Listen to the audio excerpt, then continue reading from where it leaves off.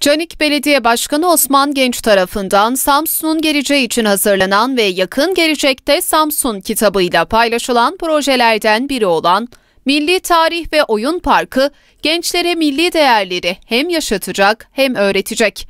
Ziyaretçilerini tarih içinde yolculuğa çıkaracak ve çocuklar için de bir eğitim mekanı olacak olan park, misafirlerine Türklerin tarih boyunca kurduğu medeniyetler ve eserleri inceleme imkanı sunacak.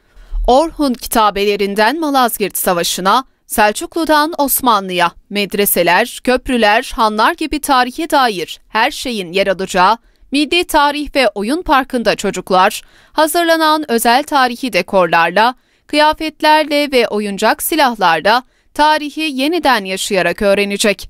Toplam 240 bin metrekare alanda planlanan ve içerisinde ulaşımın özel raylı sistemle sağlanacağı park içerisinde kafelerde bulunacak.